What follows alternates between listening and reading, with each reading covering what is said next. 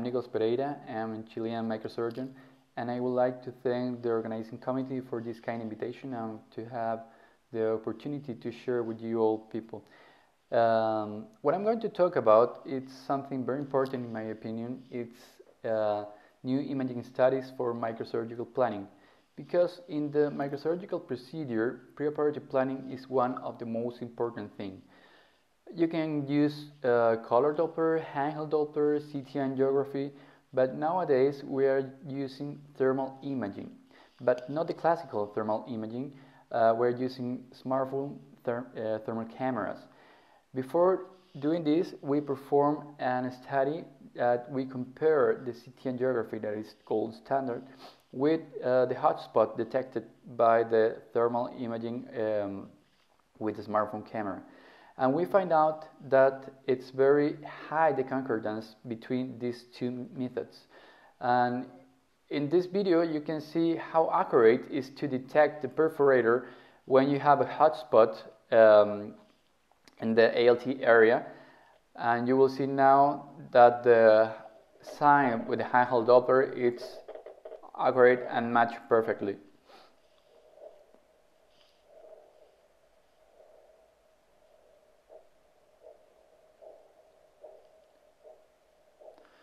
Or in this other case, probably you can see the different hotspots on the ALT. You can have one there, another there, and the third one proximal.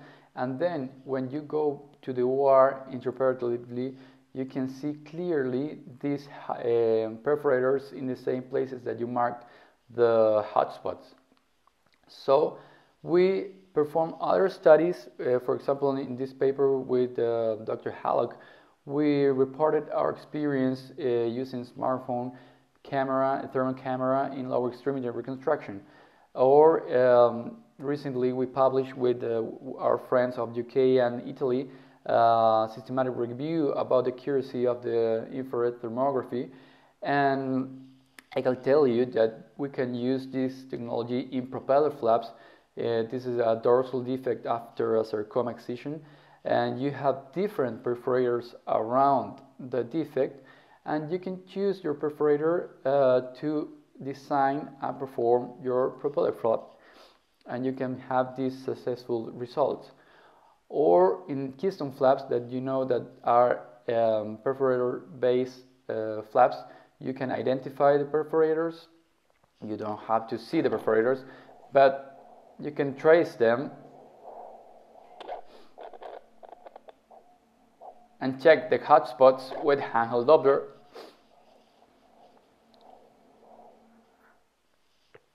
And then you can design your flap, harvest, and have a very nice result in the posterior aspect of the thigh.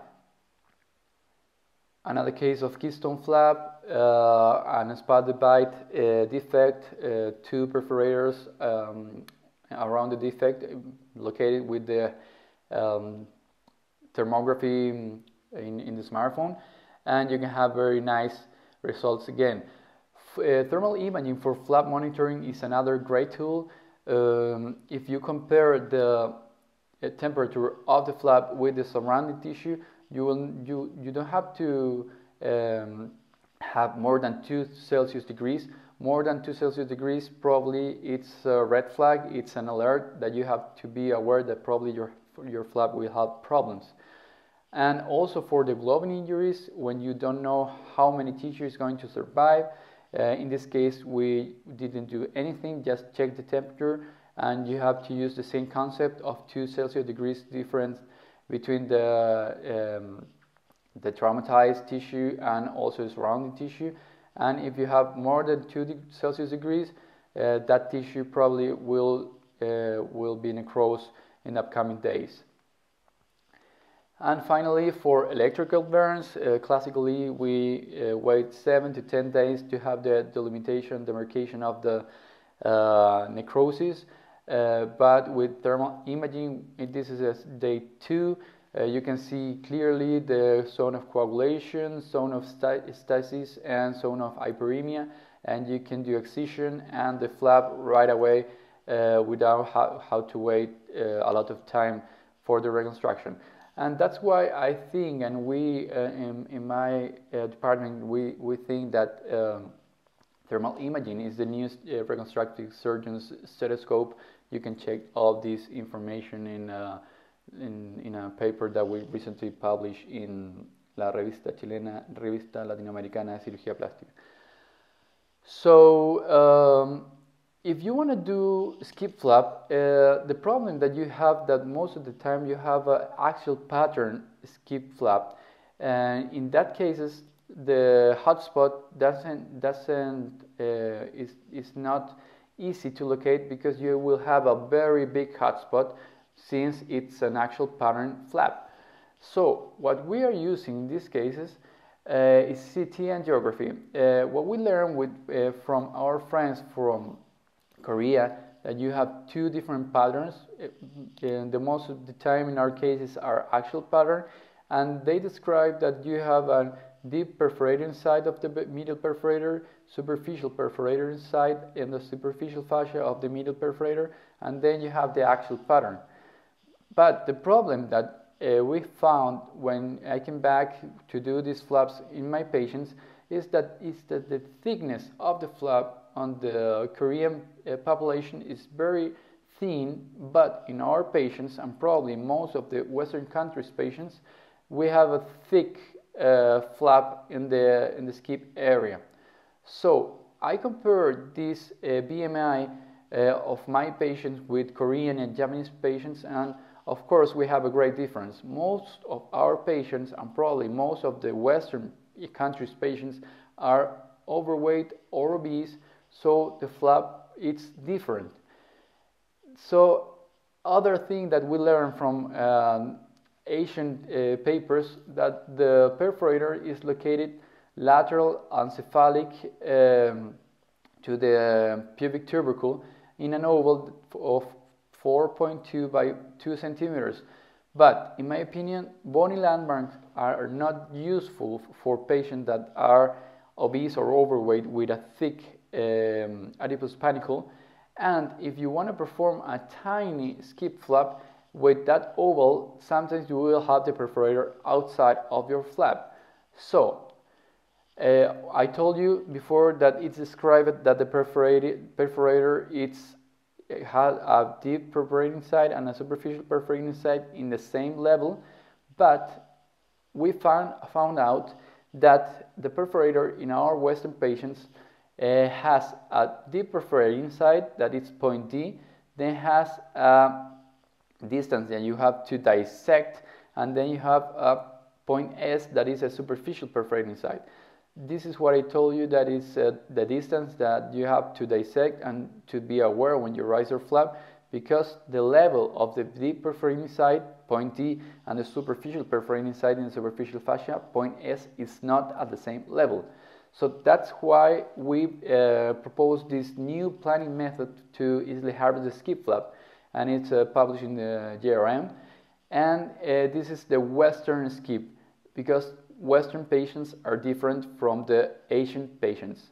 So this is based on the CT angio, and uh, you have to identify point D, that is the deep perforating site on the deep fascia of the middle branch, and point S that is perforating side on the superficial fascia, you have to take different measurements from the umbilicus in the y-axis and from the midline in the x-axis.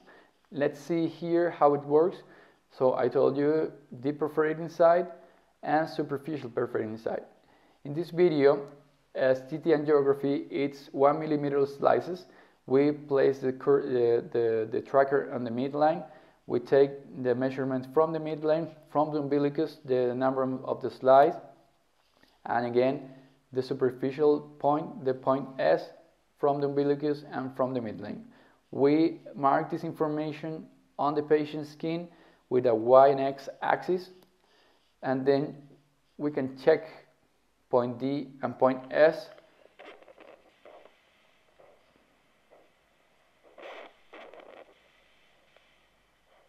that it matched perfectly and intraoperatively both point D and point S match with the preoperative marking. So this is very accurate for pre-op planning.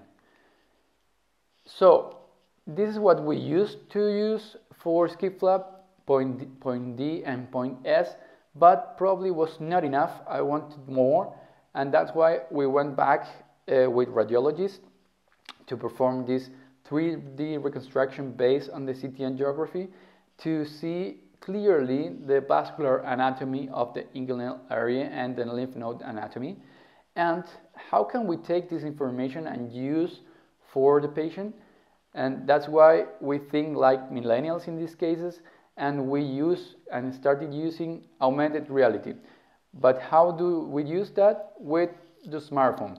We download an app, the name is um, Camera Lucida AR, and we publish this in JPRAS, and uh, we upload the image, the 3D reconstruction to our smartphone using the augmented reality app, and uh, we use this uh, image to mark all the inguinal vascular anatomy, the lymph nodes, and then you can perform and plan your flap very safely and easily uh, to teach and to perform. Here you can see all the vascular anatomy, and we can check the deep branch, superficial branch of the SCIP, and the superficial inferior epigastric artery. Intraoperatively, we can see all the structures, the vascular anatomy, in the same place that we preoperatively planned. So, that's why we can perform very nice SCIP flaps for the sole, very shallow um, um, donor side, and very thin flaps for the for the sole dorsum of the foot, very important to have thin, thin flaps without any flap modeling. Um, for the leg, of course, perforator to perforator approach is very important to have to keep in mind. Uh, in the knee, the same perforator to perforator, very nice SCIP flap, uh, preoperative plan with augmented reality. Uh, when you have double defects, uh, bilateral SCIP flaps, or extensive defects, again, bilateral SCIP flaps you can perform very safe and easily. But if you talk about lymphatic supramicrosurgery, you can also use uh, augmented reality. You all know, and you will see in the next lectures, that uh, ICG lymphography is, uh, in my opinion, the gold standard. You can preoperative, preoperative plan and also diagnose lymphedema. This linear pattern. And the problem we have in Western countries is ICG, it's uh, the dye, it's around $300. It's very expensive for the patient, but we do the green day. We gather a group of patients, eight, ten patients, uh, and we do the diagnostic and the planning ICG lymphography the green day. We use only one uh, um, vial for all these patients, and we can mark the ICG uh, pattern of the patient, and you have three options you can uh, do the surgery right away.